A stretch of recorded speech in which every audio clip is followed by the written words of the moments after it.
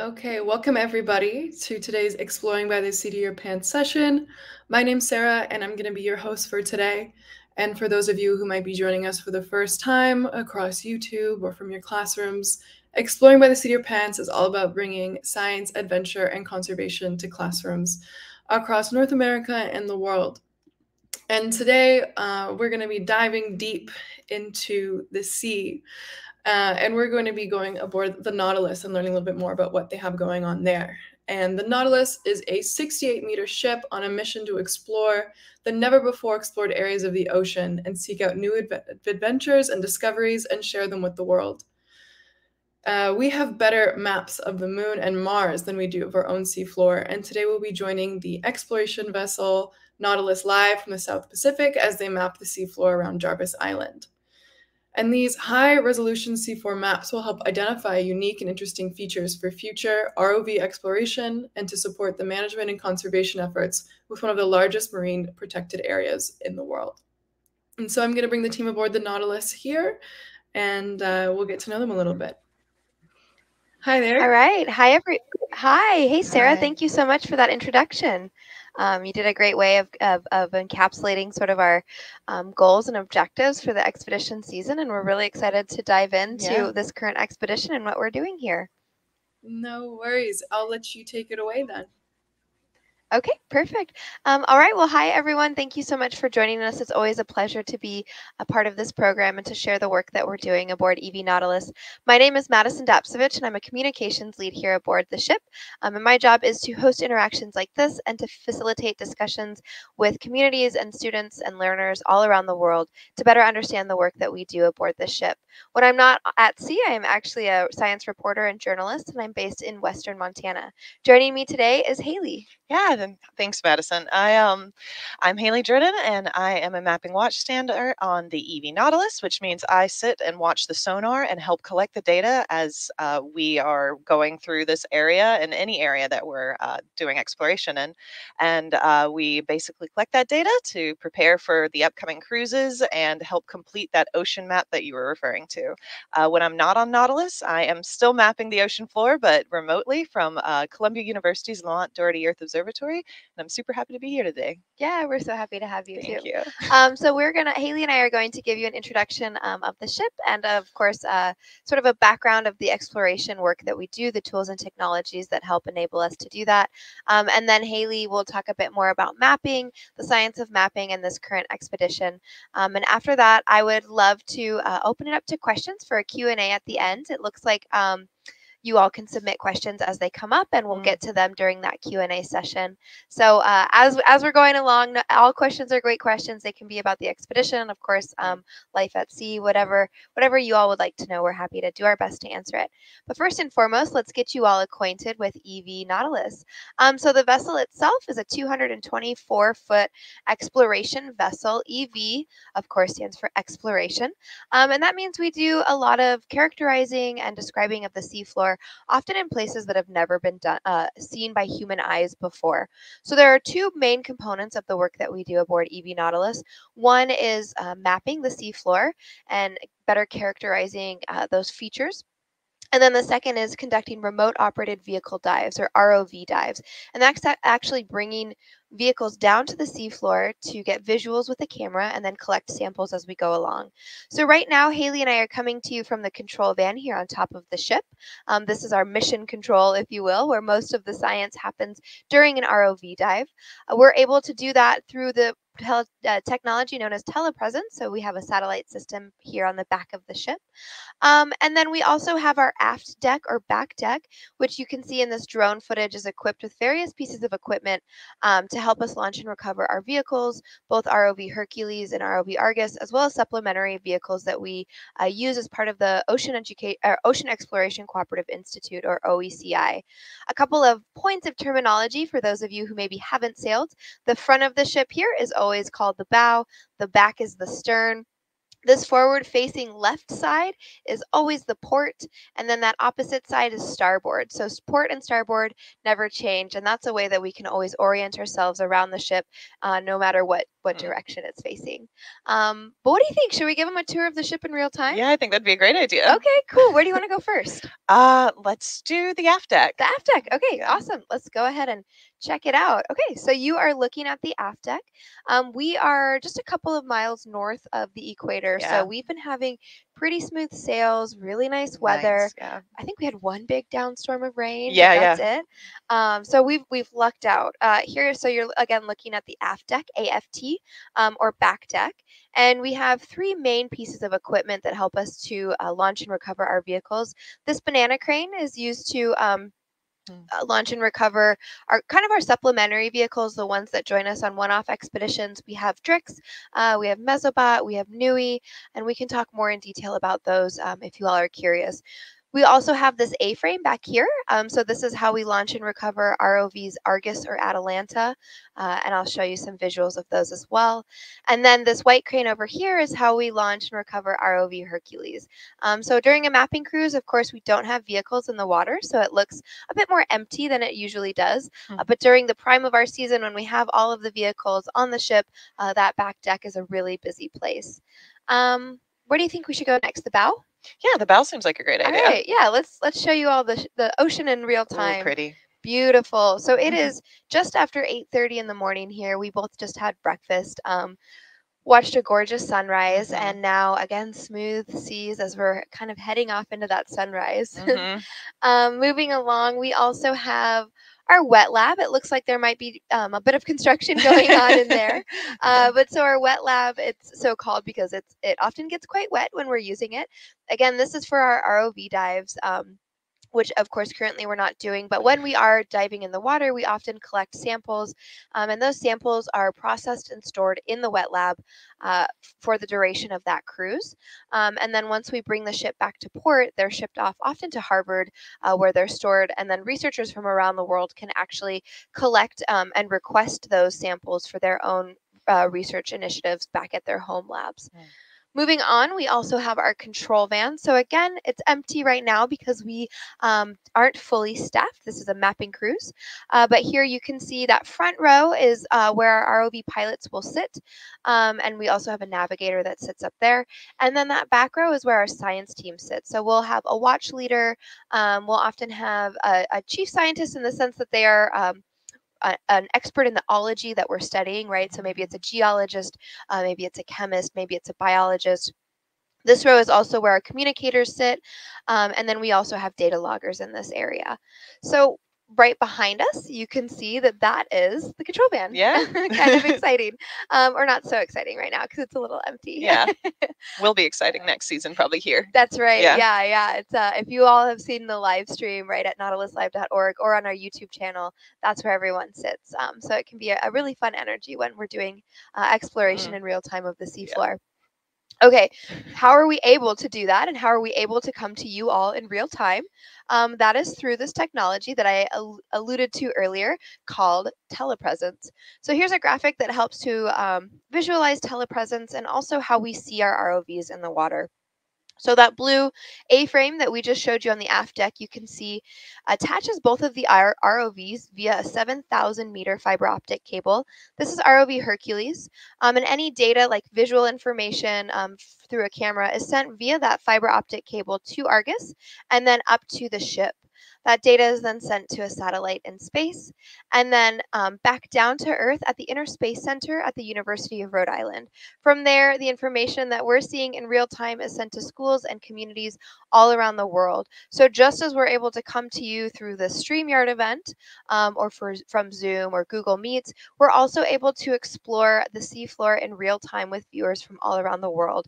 So that enables us this really unique um, kind of dynamic Yeah. when we're exploring the seafloor where we open up our website to questions we can field those questions with a, a couple second delay um, answer them and oftentimes that actually like it, it informs our own exploration Yeah, it gives us a better understanding of of you know what what people know and what we need to know and and kind of that different perspective Mm.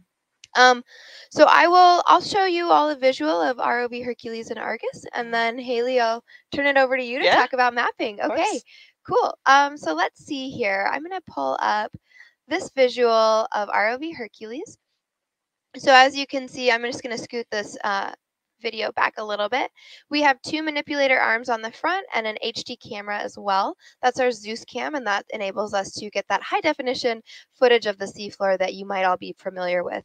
Um, ROV Hercules also has a slurp uh, to collect samples. We have various cutting tools as well. We have Niskin bottles, push core samplers. Um, we have bio boxes, and uh, we have this yellow foam that's called syntactic foam. So all of these elements together um, ensure that ROV Hercules is able to effectively operate in these very extreme environments, right?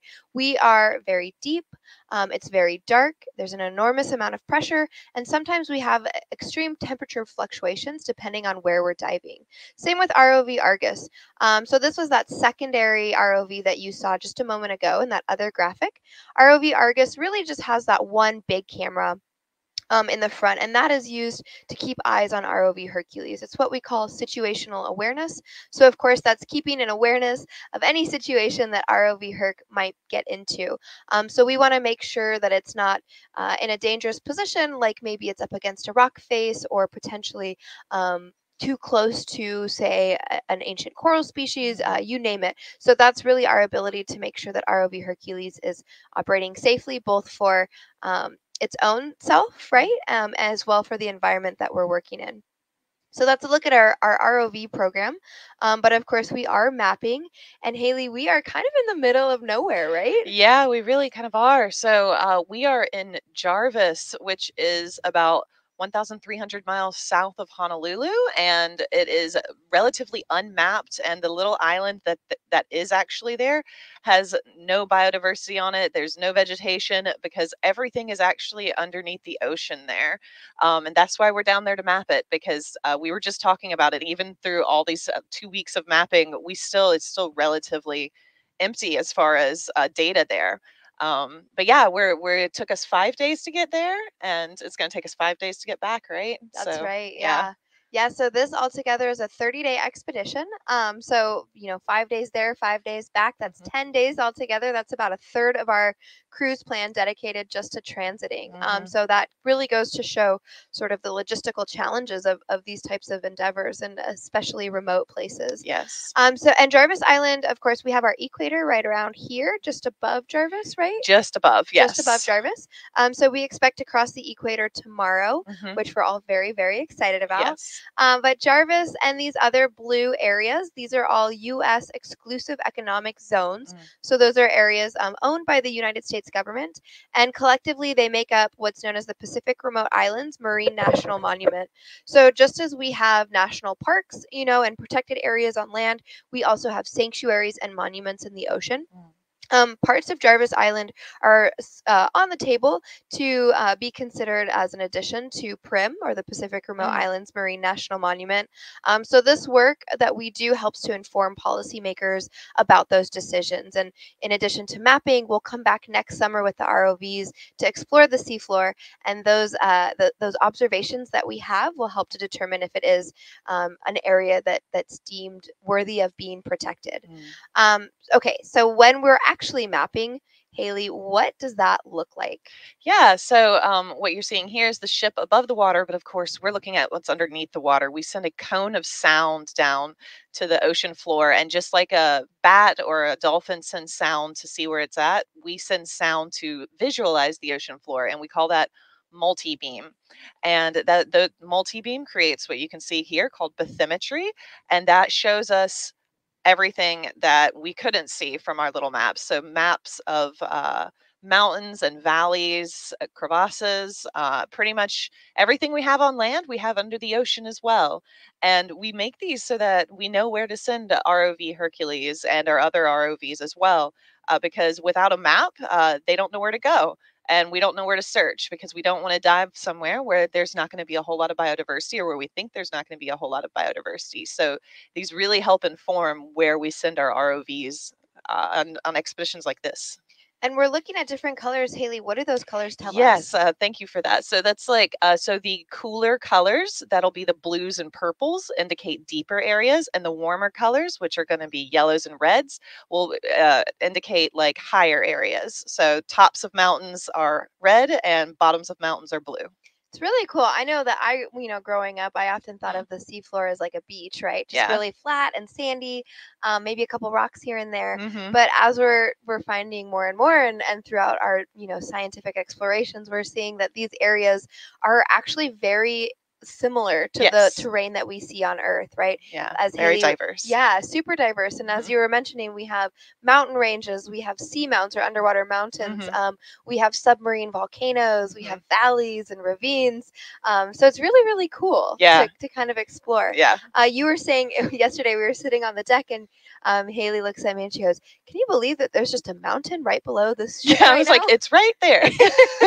so it's really wild. You know, we're seeing this very kind of seemingly flat ocean, and just below that, um, it's a it's a completely different environment. yeah, yeah, really cool. Um, thank you for sharing that. Of And course. you know, when we're, I think it's really important to kind of get a, a good idea um, of what that mapping actually looks like when we're um, before and after, right? And so we really call it satellite altimetry data um, to begin with, right, Haley? hmm And um, that information that we have moving on is then uh, that multi-beam information. So this is actually, um, let me zoom in here real quick before I pop on over into this. So this is an image um, that Haley created using some of the systems aboard the ship.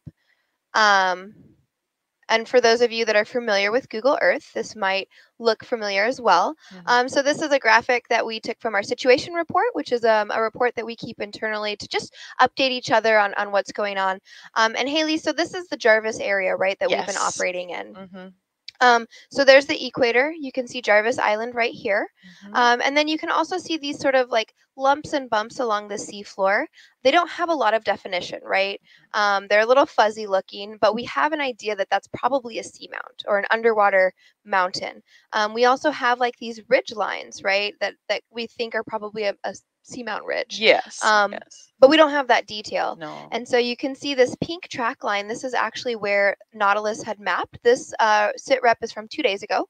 So you can see these track lines where our ship actually went around the ridges and mapped them in real time. Haley, you had a funny word for it. You were calling it the the Oh yeah, the Mario Kart track. That's what the mates on the bridge were calling it. They were saying because we keep making loops around everything and every seamount, we keep doing little circles around them. So they called it the Mario Kart track. So yeah. and then when we look fun. at that actual image, you can also see it looks kind of like the Rainbow Ridge from Mario. it really Kart. does, yeah. Um, so this is a really great example of what that definition changes uh, to Mhm. when we actually come in with that multi-beam sonar system aboard the ship. Um, so again, you can kind of see that satellite altimetry data, that Google Earth information right here, very fuzzy. Um, but even one track line begins to show us that there's so much more definition. And there's could be kilometer differences between altimetry and actual bathymetry. Right. Yeah. So Yeah. it's it's a huge difference. Um, and so then again, Haley, you were saying these these warmer um, colors are are deeper areas, and these or these cooler colors Yes, rather are yeah, deeper areas, and these warmer colors on top are are shallower. So we're looking at, you know, what is that? Probably like three thousand. Easily, yeah, 3,000. Like, so that's 3,000 to 4,000 sometimes of a difference, depending on where we are on the ridge. Um, so yeah, it's it's huge, huge ridge that, of course, we have relatively no information about. So we're really happy to be here to be the first people to lay, lay eyes on it, and also to be able to give this information to uh, this next year's season for the ROVs to look at it as well. That's right. Yeah, Yeah. and even when we do bring ROVs down, it's kind of like um, I use the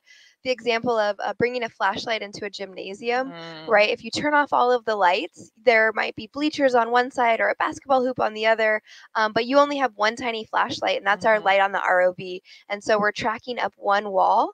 And so even when we're exploring these areas with these really high definition maps, Yeah, um, we still don't know what's necessarily all the way around us. Yeah. So we're only with the ROVs still just kind of seeing that one line of, of visualization. yeah. Um, but collectively, these maps contribute to much bigger goals, right, Haley? And Yeah. those, you're part of those as well. Yeah, so uh, I'm a part of the Nippon Foundation GEBCO Seabed 2030 project, which is a long name, but it basically means that we want to have a publicly available ocean map of the seafloor by 2030 100% mapped uh, because currently we are only at 25% mapped as of the last release.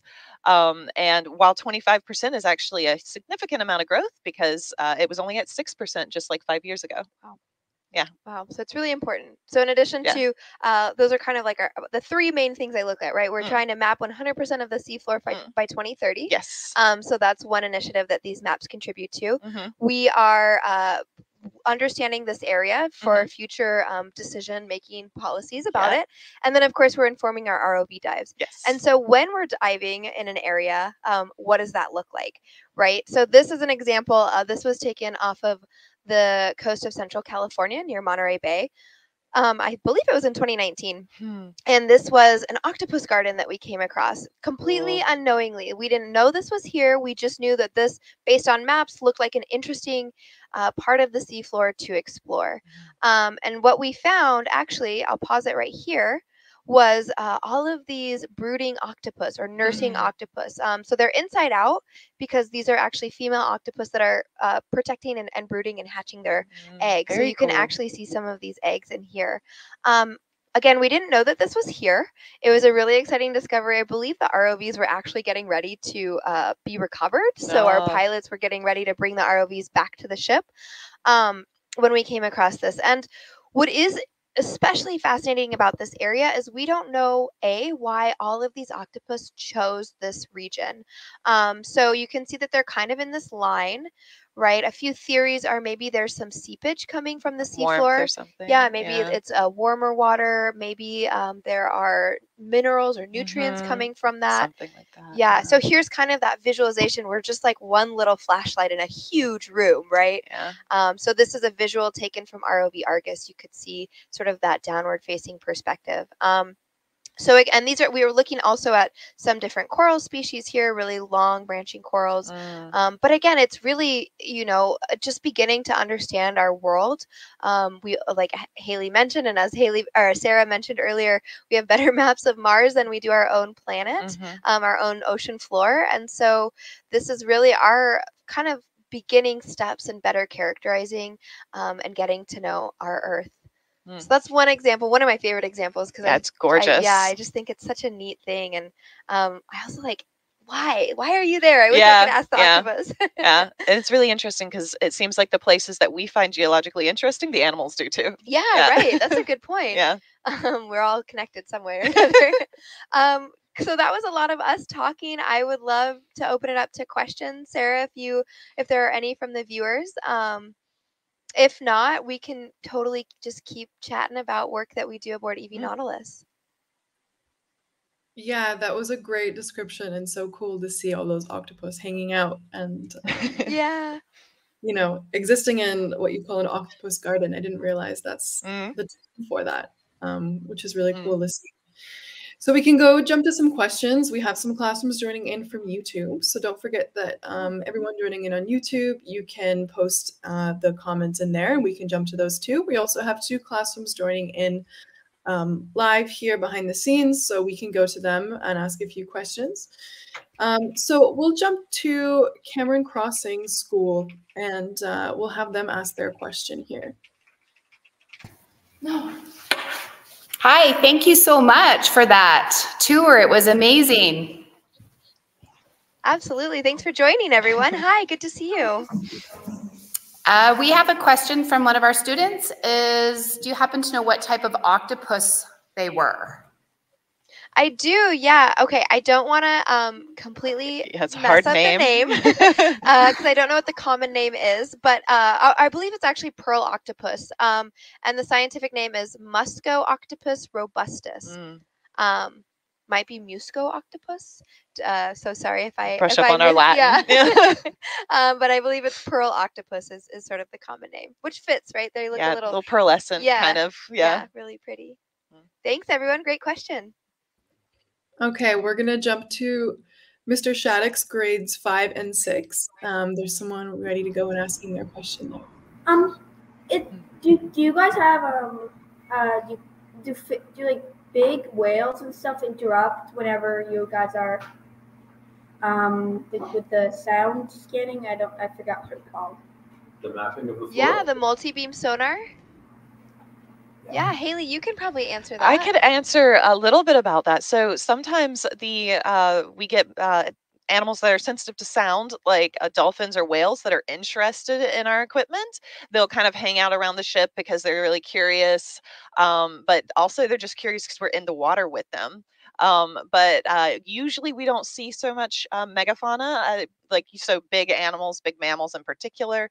Um, but occasionally we do get to see them uh, with our ROV or off the bow of the ship. Uh, usually they don't interrupt our um, actual sonar, our multi-beam. Uh, we have had, uh, I believe, a shark bite on something that we put an instrument that we put down in the water so Oh, much that yeah yeah that's what john told me Oh, our, our coordinator said that they put an instrument in the water and it was biting on that but it wasn't a sonar so Um, yeah. does the sonar ever affect the, the animals in this ocean? uh, we aren't that isn't super conclusive but we do have um, different steps that we take so that we don't um, actually uh, harm anything we're just because we don't know 100% so we uh, change if we ever spot any mammals or animals that might be sensitive uh, to sound so that also includes turtles we will put it in mammal protection mode our sonar so we do have uh, steps in place just in case um, that does happen because no matter what we want to be the best stewards that we can of our ocean Awesome, great question. And yeah, as Haley mentioned, we don't see a, a whole lot of big animals, Right. right? Um, but we do sometimes, and I would love to show you all one of my favorite love videos. this video Um, so this was again, this is that perspective from Argus looking down at ROV Hercules, and you can actually see a big whale that came to visit That's ROV really cool. Hercules. Yeah, so um, for reference, our Herc is about the size of a U.S. Postal Service truck. Um, so it's quite large. So you can see just by comparison how big that whale is. Um, and this is a really cool shot. You can kind of see its eye poking out. It's got a big mouth and its fin almost waving hi to us. Um, so we we believe based on the size of this whale that it was probably a juvenile. Um, also based on the behavior, right? So more mature, older whales probably would steer clear of our ROVs. They're very bright. They're Mm, quite loud. They're they're pretty large. Um, but this this little one was really curious about what we were doing. Uh, and of course, this there, you can't see the seafloor in this visual. And that's because we were doing what's known as our blue water Mm. um, sort of portion of a, of a dive. And that's when we're bringing the ROVs down to the seafloor or recovering them back up to the ship. Um, and so those those descents or ascents can take uh, around three hours, depending on the depth that we're diving at. Um, so oftentimes we just see a whole lot of blue water. There's not much going on. So this was an especially fun treat uh, to have that whale come and, and say hi and taking a peek at us. yeah, it's so curious. I love love, it. I'm also I grew up in Alaska, so I whales are near and dear to my heart. Ah, so yeah, I see anytime I that, see yeah. one there, it's a special treat. What a friend. So great to see a bit of all the wildlife that lives a bit deeper than we could even, you know, see from boats and everything, get a whole different perspective from it. So thanks for showing that video. That was really awesome. One question that came up while you were talking is you talked about a wet lab that you had there, um, Mm. which I find very interesting, just kind of studying science and university. And so I was wondering what kind of things are you able to sample in that wet lab and, and what kind of research are you going to be doing there most of the time? Yeah, that's a great question. I'll pull up a quick photo here. Um, so this is uh, just a look of some of our scientists that are working in the wet lab. Um, so we we can really collect a variety of different samples. That depends on um, the objectives of that cruise as well as our permits. So our permits really dictate uh, what we're allowed to sample and, and not sample. Um, so we'll we'll process geological samples. So if it's um, a geology cruise, we'll take rock samples of the seafloor. Using our manipulator arm to go ahead and grab a hold of those. We will do scoops. So we kind of have Mhm. like a, a scoopy shovel thing that'll Yeah. scoop up um, some, uh, excuse me, pebble sized rocks. And then Mhm. we'll also do sediment core samples. Um, in addition to that, we can do, uh, we can take biological samples. Mm. Um, so let's see if I can pull, uh, I'll look for one while I'm chatting here. Um, so we have those two manipulator arms, of course, that can uh, go ahead and grab a hold of different um, biological samples. So Mhm. maybe we'll we'll take a coral, a snippet of a coral. Um, sometimes we'll slurp gelatinous critters, Mm, uh, like like ctenophores, or Yeah, ctenophores, yeah. jellyfish. Um, those will be stored in. We have tubes as well, uh, and then we'll also take chemical samples. And so doing that, we deploy um, bottles, Niskin bottles that Mm. uh, collect water from the water column, and we bring those back up to the wet lab for eDNA processing. Uh, so it really depends. Um, and for each of those crews, we'll have a number of scientists who are, Mm. uh, you know, really interested in that work. So, for example, I was on a cruise in August, um, and there was a squat lobster and a sea pen expert um, who were on the ship with us. And so we were at Johnston Atoll, primarily looking at sea pen um, and squat lobsters. Uh, so, so that was a lot of the goals were collecting those and, and also getting visuals. And I'd say a really important component of sampling is collecting visual information because we can't always collect an organism, right? Uh, this is one example. This was a sea pen. Um, its scientific name is Solembalula and this was seen uh, near the waters surrounding Hawaii. And we know that this sea pen um, is at the very least an expansion of its previous range. So this identification expands where we thought these species were located. Um, were known to be in nor- more northern, colder waters. So this is the furthest south that we've seen it. Um, you can see that there's not another sea pen in that area, so we're not going to collect it, right? That's that's one of our really uh, sort of priorities is that we don't want to diminish the biodiversity of an area. Um, so this being one of the only species here, we left it alone, but we do get very in-depth visuals of it and that's so that the scientist um, for example a sea pen expert can determine perhaps this is a new species uh, which we have a hunch it might be an entirely new species. Um, so it's really exciting when we see these things but again we're the we're the e in exploration vessel right so we're Yeah. doing that exploring we're seeing the seafloor um, we're collecting those observations and then a lot of it are the scientists who join us on the ship um, and then back at home to uh, begin to do that analyses in their lab, to write the papers, to go through the peer review process, and then, of course, to publish their research. Um, so this is a great example. In addition to the wet lab, we also have these um, abilities to collect these really in-depth visuals that will help to inform our scientists. And I mean, plus it's just like a really cool animal. Yeah, I was just to say that's a just a beautiful animal. is. It's so neat. Yeah, it's Yeah. so unique. Yeah. it's big. So those two lasers that you saw there, um, 10 centimeters is, Mm. is the distance, and that's what we use to um, size things in the water. So it's Mm. actually quite large. Yeah, too. very tall and Mhm. just like a big actual Yeah. like actual animal mouth. Yeah. It's really cool. Yeah. Good And question. really great, really great to see them. Um, how like high def you can kind of get those videos as well. Right. kind of seems to be enough there. Super cool. cool. Thanks for showing us that. Uh, we'll jump to Mr. Shattuck's class again. I see somebody there, so we can ask another question. What is your um biggest oc- biggest octopus you found? Can you say that one more time? What's your biggest octopus you found? Biggest Ooh, octopus. The biggest octopus. Hmm, that's a great question. I'm not sure what the biggest one is, but I will show you one of my favorite cephalopods, which is in the same sort of family as octopus. Oh, this one's really cool. Yeah, I really um, enjoy this one. Plus, it has a cool name. Yeah. uh, so this is a vampire squid. Um, fun fact: vampire squid are neither squid nor octopus. They kind of sit in the middle of the evolutionary tree there.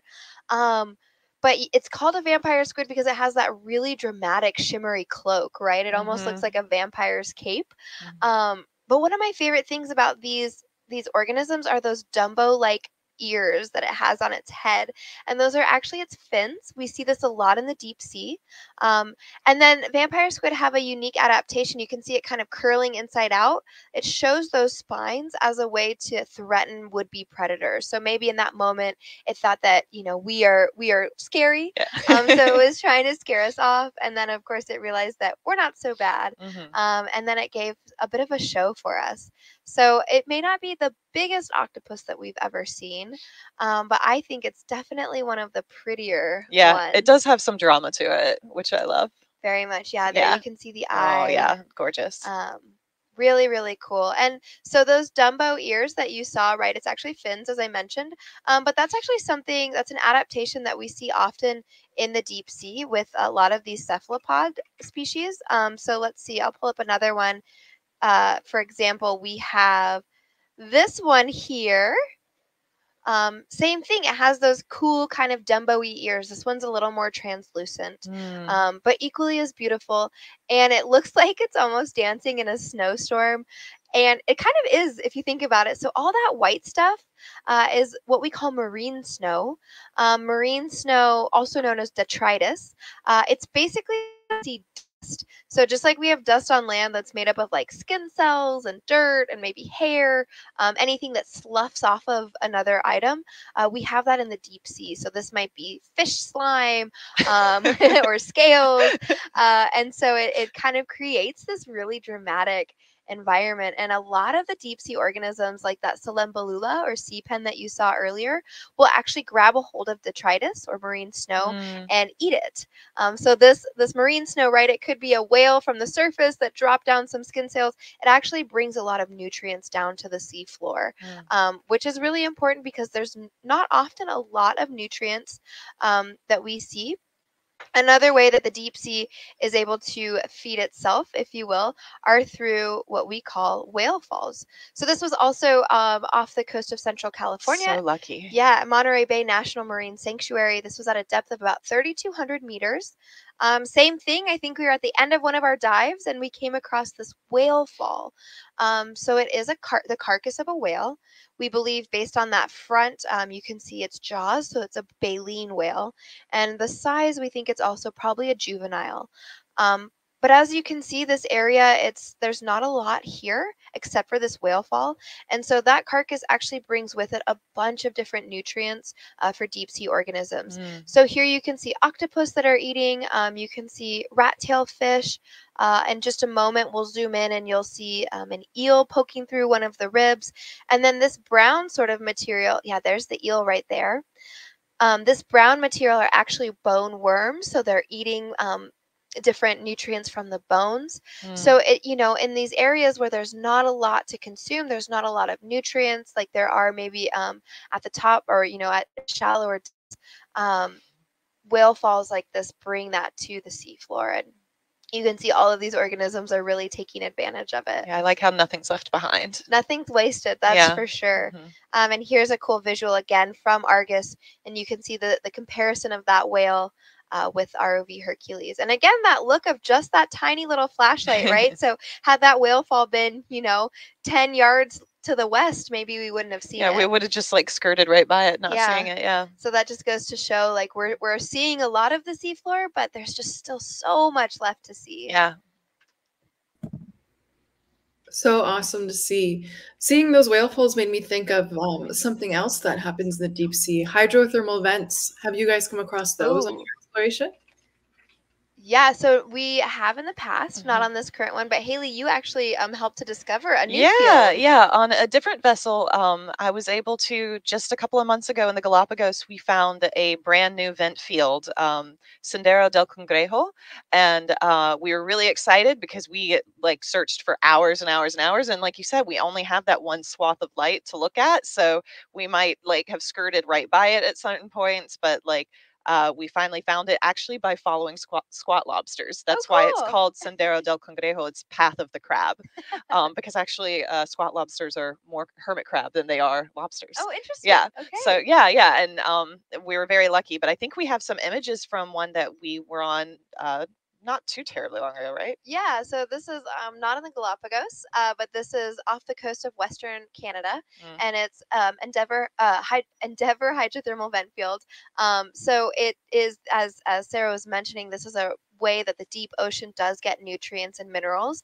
Um, so if you've ever been to like Yellowstone or a hot spring, um, it's very much the same sort of processes below the seafloor. So it's a hydro hydrothermal activity or Mm. volcanic activity of sorts. This is called um, a black chimney smoker because it looks like black smoke coming out of a chimney. Um, and this is a the view of our front porch of ROV Hercules. Um, so here you can see the manipulator arm grabbing a temperature probe, and we're testing the temperature of that that um, chimney. Uh, as I mentioned earlier, sometimes we're operating in really, really hot environments. So this is over 600 degrees Fahrenheit.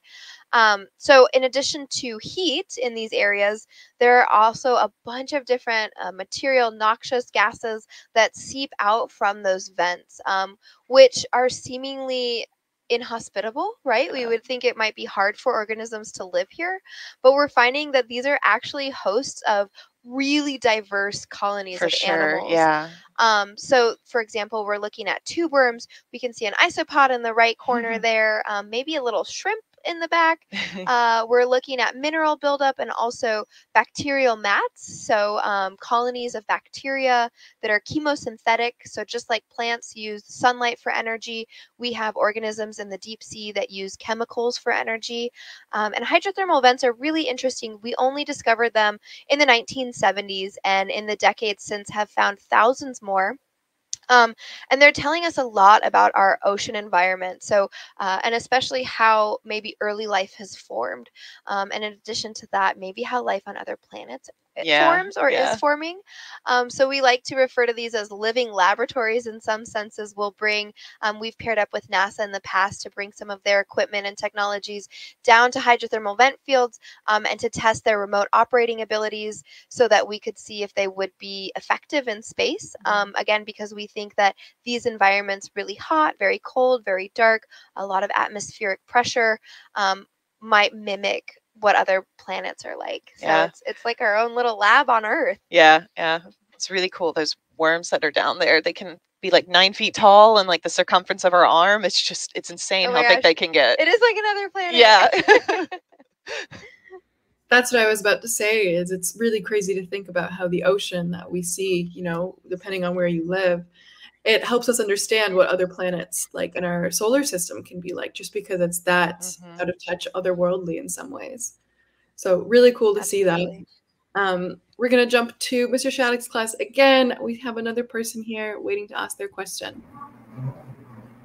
Um, have you guys found any new species or discovered anything new? How many have we discovered anything new? That's a really great question. Um, we are discovering things all of the time. yeah, yeah. We're seeing things all the time. As Haley mentioned, she helped to discover that new hydrothermal vent field. Yeah. Um, that sea pen I showed earlier is probably a new species. One thing uh, that I really like to highlight is a lot of the science happens back at shore Mm, right? So we're doing that exploration, we're seeing things along the seafloor, um, but that work, so our samples and our videos are sent back to scientists and experts in a given field who can then determine whether or not something is indeed a new species um, or brand new to science. Yeah. Um, an expansion of range, which means that animal uh, has just, uh, we've seen it in a, a different place than we previously saw it. mhm. Um, so we're, we're visualizing those all of the time. Right. And what's really cool is not just like if it's a new species, but like uh like how old they can get, how big they can get. Because we Mhm. have like several species that can get a thousand years old under because then they're in the deep sea, they're not disturbed. And I think we have like a coral that we might be able to show you with that. Yeah, absolutely. So that's such a great point, Haley. We have um right because we're we're seeing a lot of these places for the first time.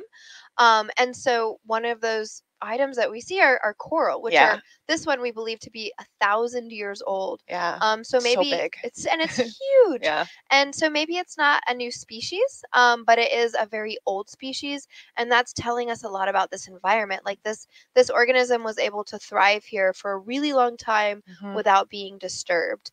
Um, so it's it's a really great look at just kind Yeah. of the the diversity of these areas. Not just new species, but new information about Mhm. the areas. Yeah, absolutely. Really cool. yeah. Gorgeous. And um, I know that we're we're almost out of time, so uh, I'll show just one one more quick video here if I can pull it up. This is a really cool example. Um, in addition to Oh, those yeah. thousand year old corals that we sometimes come across, we also have entire entire coral fields. Mm. Um, so this is in Papahanaumokuakea Marine National Monument, and there are just, I mean, hundreds of of individual coral species. Um, so these are probably not a thousand years old, like that big one that we just saw, but several of these are very well decades old, if not centuries Yeah, old. Slow growing for sure. Very, very slow growing. Um, and you can just see that the different colors and just how concentrated this is. Um, so based on the concentration, how many individual species are here, it's probably an area where a current comes through that brings with it a lot of different minerals um, or, or nutrients rather, Mhm. it like in marine snow. So um, these animals are actually able to thrive in this area because it's it's very nutrient dense. Hmm. Great question as well. So amazing to see, and thank you so much for sharing some of your knowledge and your experiences on board. It's so cool to be able to see just the work that you're doing out there. It's it's absolutely amazing to see how it it translates even over to space exploration and and all of those things. It's it's a whole different world, truly. Um, if the classrooms wanted to learn a little bit more about Nautilus, is there anywhere that they could go to learn more or or get more information? Yeah, absolutely. Um, so all of our highlights, like a lot of the videos that you just saw, are available on our YouTube page and on our website.